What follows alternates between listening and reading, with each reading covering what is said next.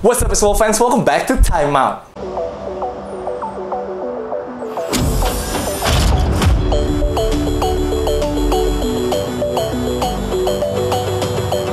Balik bareng gue Padilla, kita kembali lagi ke Info Basket Harian untuk edisi 28 Agustus 2020 And the NBA is back again. Wah ini NBA returns 2.0 ya Setelah kan kemarin itu returnnya ke bubble Sekarang return lagi setelah Milwaukee Bucks melakukan sebuah aksi protes Yang akhirnya mereka membuat uh, eh, NBA Playoff ditunda semua pertandingannya. Jadi kan awal ceritanya Milwaukee Bucks itu ingin melakukan protes terhadap isu social justice di Wisconsin Sehingga mereka memilih untuk tidak bertanding melawan uh, Orlando Magic di mana sebenarnya jujur mereka tuh katanya udah terima. Kalau mereka tuh WO aja dan mereka dikasih kalah di sana jadi 3-2 skornya dengan uh, Orlando Magic.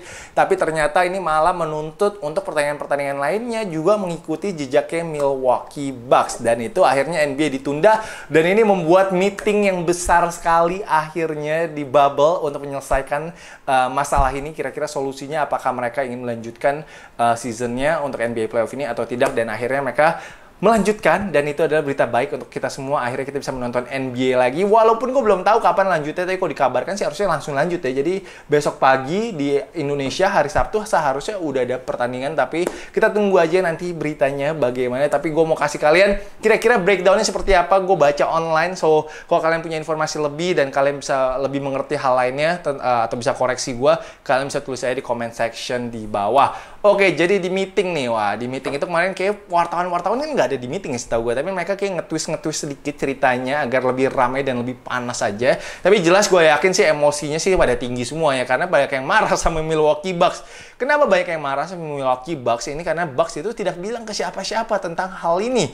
Jadi mereka tiba-tiba aja last minute bilang nggak mau main sehingga pemain-pemain yang lain panik dong eh kita harus ngapain nih? Apa kita harus ngikutin atau gimana? Dan ini uh, LeBron apalagi LeBron nih mereka mem dia mempertanyakan apa sih uh, yang kalian mau dapatkan dari hal ini gitu? Demand apa yang kalian mau uh, di apa ya demand apa yang mau kalian capai untuk agar orang-orang bisa dengar? Dan juga apa sih uh, yang kalian pengen dapetin dari melakukan hal protes ini? Itu yang LeBron uh, pertanyakan tentang ini. Karena menurut LeBron kalau uh, dia bisa kalau mereka itu Bucks itu udah ngasih tahu misalkan tim-tim lain, oh gue mau ini nih, kan mereka bisa ngomongin kira-kira solusi terbaiknya apa dan mau dilakukannya seperti apa agar impactnya lebih besar dan orang bisa dengar lah semuanya tentang hal ini. Tapi main dengan protes aja sih gila akhirnya WNBA dan juga MLB dan kayak MLS juga ya uh, tidak menjalankan pertandingannya mereka semua. Jadi probably the biggest protest in sports history. Oke, okay, lalu ada juga Udonis Haslim, salah satu pemain yang paling veteran di bubble uh, bersama Miami Heat. Dia juga mempertanyakan kenapa sih si George Hill ini sampai mendorong timnya untuk uh, nggak uh, mau main gitu. Uh, mau WO aja. Kenapa gitu kan kasihan kalau memang NBA playoff ini tidak bisa dilanjutkan. Bagaimana nasib-nasibnya pemain-pemain muda yang gajinya belum gede banget. Mereka kan juga masih bergantung banget dengan gaji-gajinya mereka di NBA. Kalau pemain kayak Chris Paul, kayak LeBron James, mungkin kayak Giannis itu mungkin udah nggak pernah nggak perlu pusing gitu kalau NBA nggak dilanjutin gajinya mereka masih aman. Jadi itu yang diminta oleh Udonis Haslim. Lalu juga ada gosip katanya Lakers dan Clippers kemarin itu walk out kan. Uh, mereka vote katanya nggak mau lanjutin uh, season NBA playoff ini. Tapi aneh, hari ini LeBron kok gue baca itu memang LeBron itu dari awal itu dia paling vokal kan pengen NBA mulai lagi kayaknya aneh kalau LeBron udah sampai di titik ini lalu dia pengen nggak mau main lagi gitu menurut gue sih LeBron sih uh, masih fokus banget pengen bawa Lakers juara dan dia akhirnya memang setuju kan untuk NBA dilakukan lagi dilanjutkan lagi tapi memang dia bete. Dia bete sih menurut gue ke George Hill dan juga akhirnya dia uh, apa ya teleconference dengan beberapa owners atau semua ownersnya gue nggak tahu. Dari Michael Jordan juga kayak ikutan di mana dia meminta real action dari para owners ini untuk bisa membantu black community agar ada impactnya agar mereka juga bisa mendapatkan justice untuk police brutality. Jadi LeBron tadi udah ngomong dan owners pun sudah berjanji untuk uh, kepada LeBron dan semua NBA players bahwa mereka akan take a real step um, um, uh, apa ya towards this uh, very very sensitive issue lah agar dia juga bisa membantu para pemain ini uh, bisa membantu uh, keadilan untuk ditegakkan. Itu sih. Oke itu terlalu berat yang ngomong ini karena kita uh, ngomongin tentang yang financialnya aja. Nah jadi uh, Chris Paul sebagai presiden of Players Association itu dia menjelaskan nih bersama Andre Gudala kepada pemain-pemain ini kalau NBA nggak dilanjutkan ini akan berpengaruh kepada ke Collective Bargaining Agreement CBA. Nah ini gue jujur juga kurang ngerti gue tadi cuma baca aja artikelnya CBA itu atau Collective Bargaining Agreement itu merupakan kontrak pemain dengan owners, uh, eh, NBA dan juga pembagian revenue juga gitu. Jadi ini benar-benar kontrak tentang finance-nya ataupun cash flow-nya mungkin NBA kali sengerti gue sih gitu ya. Tapi kalau season ini tidak dilanjutkan, ini akan berpengaruh kepada kontrak-kontraknya pemain ke tahun-tahun berikutnya. Kita tahu setelah recap sekarang lagi naik-naiknya karena memang TV deals-nya sekarang makin lama makin mahal kan bersama TNT dan juga bersama ESPN.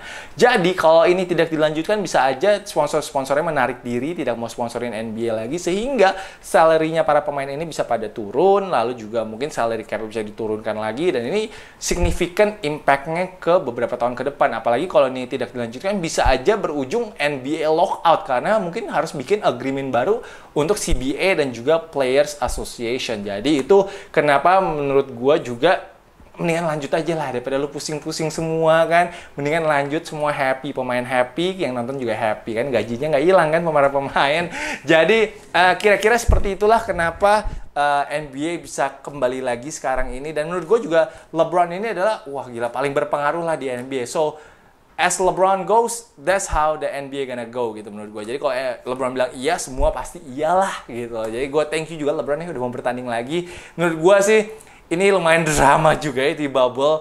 Uh, but I'm happy that the NBA is back. So hopefully setelah ini semuanya lancar. Uh, semoga juga the owners benar menepati janjinya untuk take a real step dan juga real action towards this uh, social justice issue. Amin. So guys, nanti kita review lagi. Semoga bisa NBA playoff lagi ya. Sekarang kita pindah ke uh, lokal dulu. Lokal seperti biasa lah. Kita nonton latihan uh, timnas dulu nih dari Instagramnya Raul.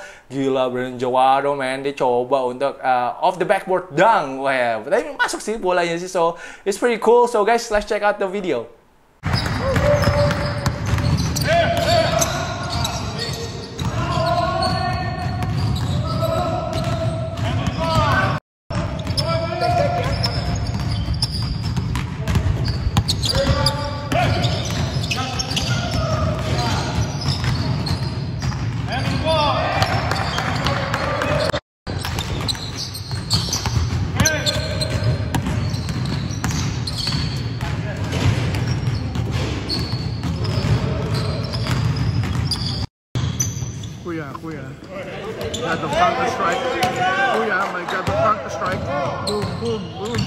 again.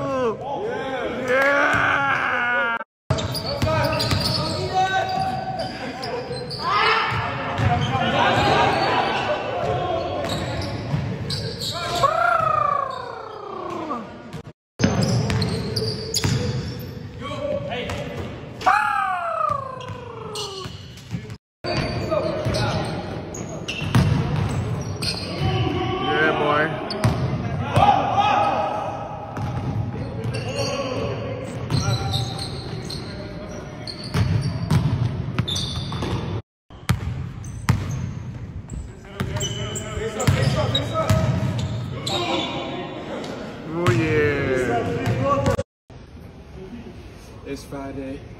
Happy Friday, y'all. You know, look good, feel good. We in the building, baby. Yeah. Yeah, bless up. Yeah. Itulah video latihan tim nasional Indonesia. Shout out to Raul seperti biasa yang sudah setiap harinya rajin sekali memvideokan latihan ini. Dan sekarang kita akan ngomongin tentang beberapa pemain yang sudah memilih uh, kampusnya yaitu anak SMA. Ada dua nih yang udah ditunggu-tunggu.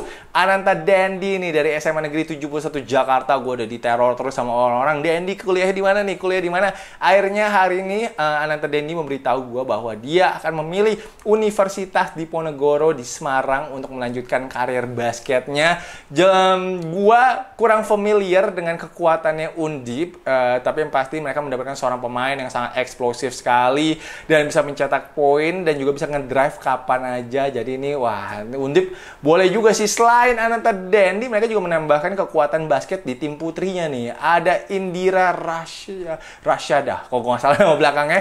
Dia juga pindah dari SMA Negeri 21 Jakarta ke Undip. Wah, Undip ini mendapatkan seorang seorang shooter nih. Indira memang uh, tingginya nggak terlalu tinggi, tapi nih shooternya mematikan sekali di DBL. Dia pernah mencetak 44 poin dalam satu pertandingan.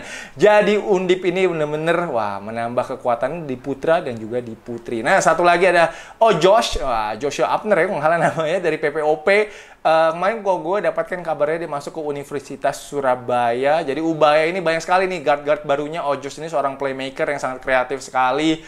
Uh, ball, uh, ball, ball lagi, ball, ball apa ya? Gue jadi ngeblank gini. Sorry uh, court visionnya bagus banget. Dia bisa memberikan passing-passing yang bagus untuk temannya. Ini jelas uh, kalau dia bisa bisa bermain seperti dia bermain di PPOP ini akan menjadi satu uh, pemain playmaker yang sangat bermanfaat banget untuk Ubaya. So itu aja guys hari ini untuk uh, video timeoutnya. Thank you banget guys yang sudah menonton. Jangan lupa untuk like jangan lupa untuk comment and jangan lupa untuk subscribe. Thank you guys for watching. I'll see you guys next video. Peace